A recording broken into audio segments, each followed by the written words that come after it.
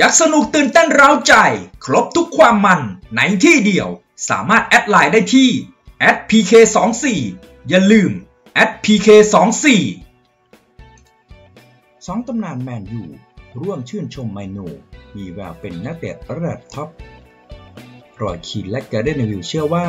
ค็อบบี้ ไมนูมีศักยภาพมากพอที่จะก้าวไปเป็นนักเตะระดับท็อป กองกลางวัย18 ปียิงประตูแรกในศึกพรีเมียร์ลีก และเป็นประตูชัยให้กับปีศาจแดง บุกชนะวูล์ฟแฮมป์ตันวันเดอเรอร์ส4ประตูต่อ 3 โดยไมนูได้ออกสตาร์ทเป็นตัวจริงในเกมลีก เกมที่ 7 ติดต่อกัน ในแมตช์ล่าสุดที่ถล่มเวสต์แฮมยูไนเต็ด 3-0 รอยคีนตำนานกองกลางของแมนยูไนเต็ดเชื่อว่าค็อบบี้ ไมนูมีศักยภาพมากพอ ที่จะก้าวไปเป็นนักเตะระดับท็อปหลังจากโชว์ฟอร์มได้ยอดเยี่ยมในฤดูกาลนี้จนถึงตอนนี้แฟนบอลจะต้องแฮปปี้กับเขา เขาคว้าโอกาสสำคัญของตัวเองไว้ และมันเป็นบทบาทสำคัญในการเล่นแดนกลาง แต่ประตูดังกล่าวจะช่วยส่งเสริมความมั่นใจให้เขาอย่างมาก เขาดูเหมือนจะเป็นนักเตะที่ใช่ เป็นนักเตะที่ผมมองหามาเป็นเวลานานก็ใช่ที่เขาทำผิดพลาดอยู่บ้าง แต่นั่นก็เป็นส่วนหนึ่งของเกม เขาเป็นนักฟุตบอลที่ฉลาดมากและก้าวไปสู่ระดับท็อปได้เราเรื่องซีเนียจะต้องทำให้เขามั่นคง ให้แน่ใจว่าเขาได้เรียนรู้ แต่เขามีความนิ่งและเราได้เห็นสิ่งนั้นแล้ว เขาอยู่ทุกคนทุกแห่งเพื่อช่วยเกมรับ แต่ยังสร้างโอกาสได้อีกด้วย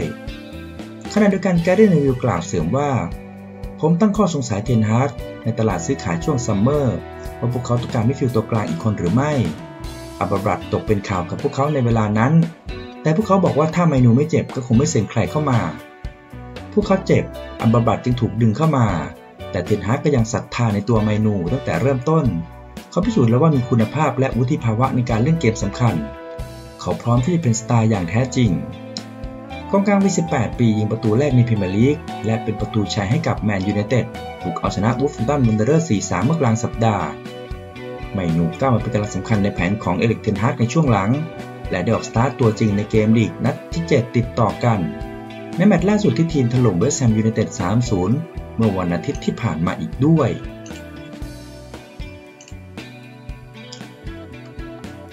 แกรี่ชี้ ปืนยังขาดความเหี้ยมในพื้นที่สุดท้าย แกรี่เนวิลล์อดีตปราการหลังของแมนยูไนเต็ดยังมองว่าอาร์เซนอลยังขาดความโหดเหี้ยมในพื้นที่สุดท้าย ซึ่งอาจจะส่งผลต่อการลุ้นแชมป์ในซีซั่นนี้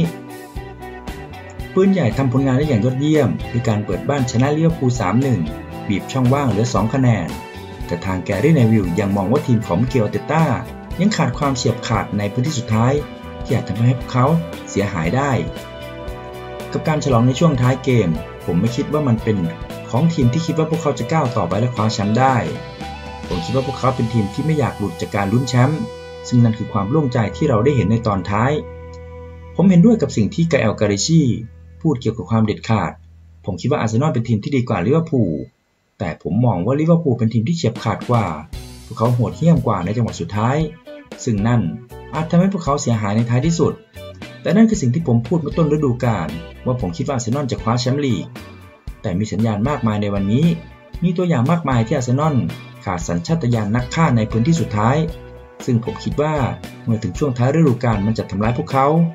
สำหรับผมพวกเขาเป็นทีมที่รับการฝึกมาอย่างดี ระบบของพวกเขาดี วิธีการเล่นของพวกเขาดี แต่สิ่งสำคัญอย่างแท้จริงคือพื้นที่สุดท้ายที่ขาดหายไป VAR ไปไหน พิธีกรชี้คาเซมิโร่บีบคอแข้งเวสต์แฮมในเขตโทษ ริชาร์ดคีย์สพิธีกรรายการฟุตบอลคนดังโพสต์ลงสื่อโซเชียลจวกทีมงาน VAR เกมพรีเมียร์ลีกนัดที่แมนยูเปิดบ้านถล่มเวสต์แฮม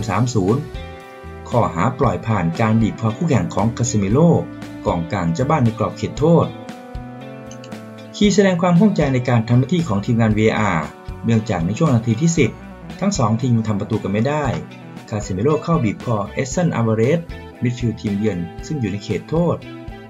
ช่วงที่เดอะแฮมเมอร์ได้ลูกเตะมุม แต่ทีมของเทนฮาร์กไม่เสียลูกโทษ ผมไม่สามารถโพสต์ภาพเคลื่อนไหวได้ ดังนั้นจึงทำมันได้แค่นี้ และมันไม่เป็นลูกโทษได้ยังไงคาเซมิโร่บีบคออัลวาเรซ VAR ไม่เห็นสิ่งนี้เลยหรือ เขาทำให้อีกฝ่ายเข้าหาบอลไม่ได้